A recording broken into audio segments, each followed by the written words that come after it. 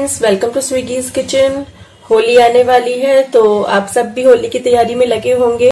तो चलिए फिर आज स्विगीज किचन में मैं बना रही हूँ आलू के पापड़।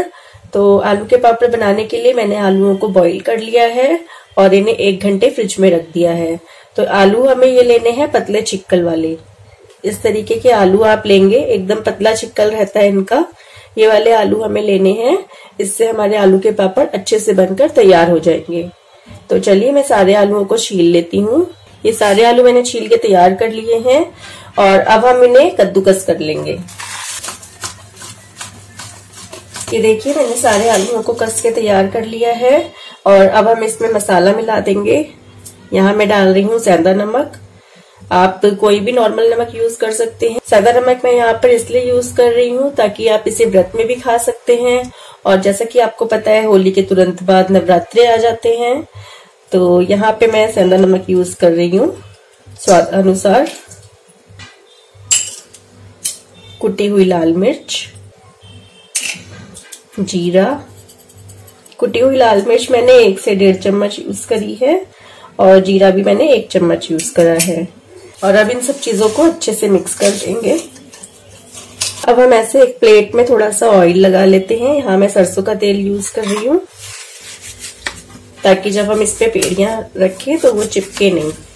अब थोड़ा सा ऑयल ऐसे हाथ में लेंगे और इसकी पेड़ी बना बना के रखते जाएँगे। ज़्यादा बड़ी नहीं लेनी है हमें। ये नींबू के साइज़ के लिए है मैंने लगभग।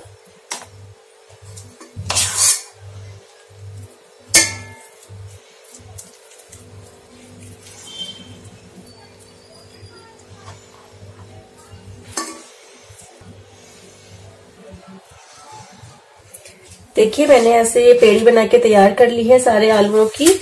और अब हम ऐसे एक पन्नी लेंगे।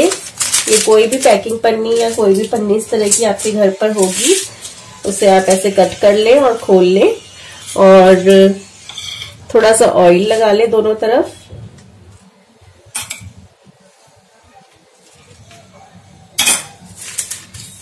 आपको कोई मशीन की ज़रूरत नहीं है, किसी चीज़ की ज़रूरत नहीं है। आप ऐसे हाथ से ही घर पर आलू के बढ़िया पापड़ बना के तैयार कर सकते हैं। तो ऑयल अच्छे से लगा ले थोड़ा सा और लगा ले, लेकिन ध्यान रखें कि ये चिपके नहीं। अब ऐसे एक आलू की पेड़ी लेके रख दे और इसे कवर कर दे। और अब इसे हाथ से धीरे धीरे प्रेस करें।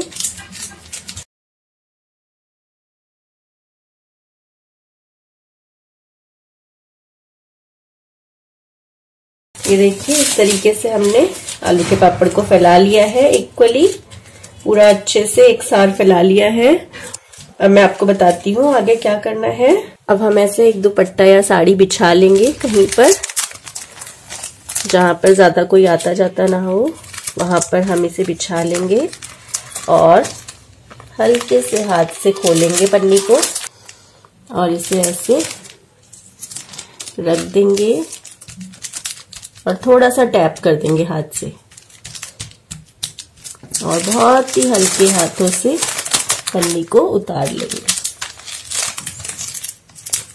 ये देख ऐसे ही हम सारे आलू के पापड़ बनाकर तैयार कर लेंगे।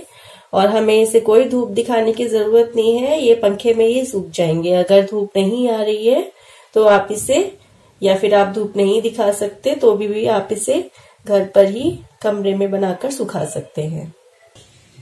तो चलिए फिर मैं सारे पापड़ बनाकर तैयार कर लेती हूँ ऐसे ही। चलिए मैं आपको एक और पापड़ बना के दिखा देती हूँ।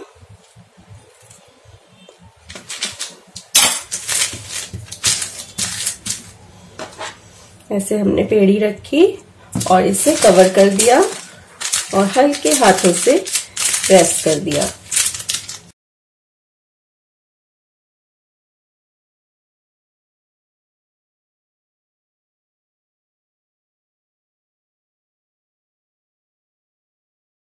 जहाँ पे भी आपको लगे कि थोड़ा सा आलू मोटा सा रह गया, उसे आप वहीं पे फोड़ के उसके साथ में मिक्स कर दें। उससे वो इक्वल फैल जाएगा। ये देखिए, हमारा आलू का पापड़ तैयार हो गया ये देखिए। अब इसे भी मैं जाके उसी दुपट्टे पर फैला दूँगी और इसी तरीके से हम सारे आलू के पापड़ बनाकर तैयार कर लेंगे। ये देखिए, हमने सारे आलू के पापड़ इस तरीके से बनाकर तैयार कर लिए हैं और अभी इन्हें सूखने में दो तीन दिन का टाइम लगेगा। तो आप भी इस तरीके से अपने घर पर आलू के पापड़ बनाकर तैयार कर सकते हैं, वो भी बिना किसी मशीन की मदद के। तो अगर आपको मेरी ये रेसिपी पसंद आई तो प्लीज़ मेरे चैनल को सब्सक्राइब करें लाइक शेयर एंड कमेंट करें और साथ ही लगे बेल आइकन को प्रेस करें और अपनी होली बहुत ही शानदार तरीके से मनाएँ। Thank you